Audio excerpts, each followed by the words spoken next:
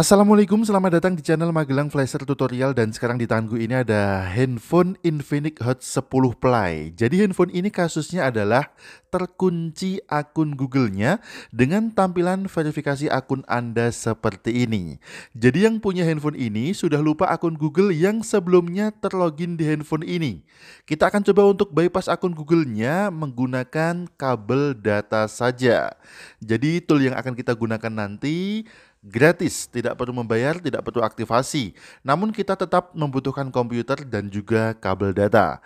Sebelum kita hubungkan handphone ini ke komputer, bisa kita matikan dulu handphonenya, tekan tombol power, kemudian geser ke kanan untuk mematikan handphone ini.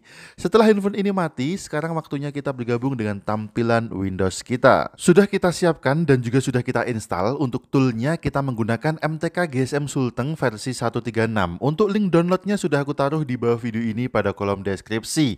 Sebelum kita menggunakan tool ini, wajib install MediaTek driver dan juga driver USB DK. Tinggal kita klik aja menu install drivernya dan kita tunggu sampai drivernya terinstall. Selanjutnya kita masuk ke menu order, kemudian kita cari brand Infinix atau merek Infinix. Bisa kita scroll ke bawah, kita cari merek dan kita pilih Infinix seperti ini. Kemudian untuk opsi di sebelah kanan, untuk membypass akun Google-nya kita gunakan Erase FRP. Kebetulan di sini ada dua opsi yaitu Iras FRP dan Iras FRP New OS. Kita bisa gunakan salah satunya. Bisa kita gunakan Iras FRP dahulu, jika gagal baru kita gunakan Iras FRP New OS. Oke, kita pilih yang atas dulu yaitu Iras FRP. Kemudian kita klik menu execute dan kita tunggu sampai muncul keterangan waiting for device connection. Selanjutnya tinggal kita hubungkan handphone ini ke komputer. Untuk cara menghubungkannya adalah seperti ini. Kita tekan dan tahan kedua tombol volume, yaitu volume atas dan volume bawah, kita tekan dan tahan secara bersamaan. Sambil menekan dan menahan kedua tombol volume, kita bisa hubungkan handphone ini ke komputer menggunakan kabel data.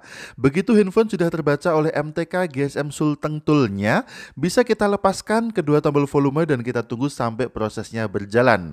Ini dia, handphone sudah langsung terbaca oleh toolnya, lepaskan kedua tombol volume, kita tunggu sampai prosesnya selesai tidak perlu waktu yang lama, hanya hitungan detik saja sudah muncul keterangan all is done yang menandakan proses bypass akun Google atau bypass FRP pada Infinix Hot 10 Play ini sudah selesai. Tinggal kita lihat saja hasilnya, kita bisa kembali dulu ke tampilan handphone ini. Sebelum kita nyalakan handphone ini, bisa kita lepaskan dulu kabel datanya. Kemudian untuk menyalakan handphone ini, langsung bisa kita tekan dan tahan tombol powernya sampai muncul logo Infinix di layarnya.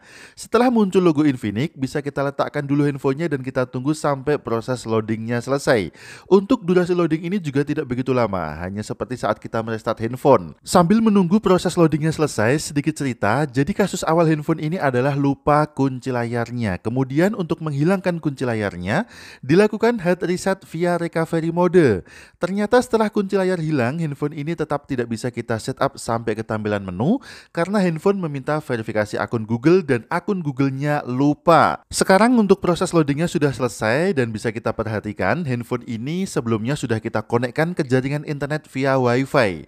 Kemudian sekarang kita coba untuk setup lagi handphone ini. Karena sebelumnya kita sudah pernah melakukan setup handphone ini tetapi pada percobaan pertama setupnya handphone ini meminta verifikasi akun Google. Oke handphone sudah terhubung ke jaringan internet via wifi sekarang kita lanjutkan setupnya. Ketika kita setup sebelumnya handphone meminta verifikasi akun Google dan akun Google Google-nya lupa, maka setelah kita bypass akun Google-nya, kita akan lihat hasil untuk proses bypass yang sudah kita lakukan tadi.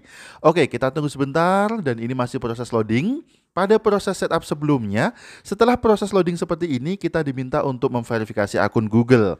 Dan setelah kita bypass akun Google-nya menggunakan MTK GSM Sulteng Tool, maka akun Google sekarang sudah bersih.